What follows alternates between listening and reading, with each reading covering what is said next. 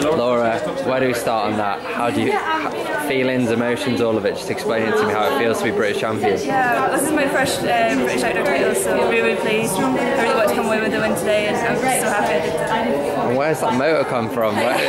last time I saw you last year, it was like you were obviously building and building into races, but now is this just a race plan every time to just try and blow everyone out of the water?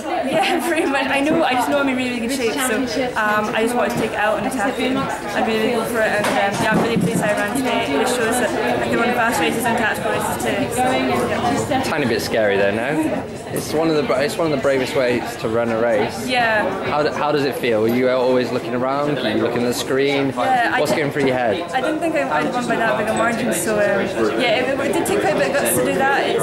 Yourself so out there really to be, followed on. So um, I just you know just really had to attack and try and get the biggest gap possible, and uh, yeah, managed. And what is so different about this year? Obviously, Glasgow was tough.